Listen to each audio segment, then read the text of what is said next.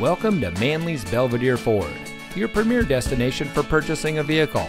And here's a look at another one of our great vehicles in inventory and comes equipped with heated front seats, electronic stability control, rear view camera, roof rack, Sirius XM satellite radio, tire pressure monitoring system, steering wheel controls, keyless entry, Bluetooth smartphone integration, rear spoiler, and has less than 15,000 miles on the odometer. Since 1883, the Manley name brand has been proudly serving our community. As the world's second oldest Ford dealer, we are locally owned and community focused. We pride ourselves on outstanding customer service. We're a little different and a whole lot better. So come visit us here at Manley Belvidere Ford. You'll be glad you did. We're located at 1800 North State Street in Belvidere.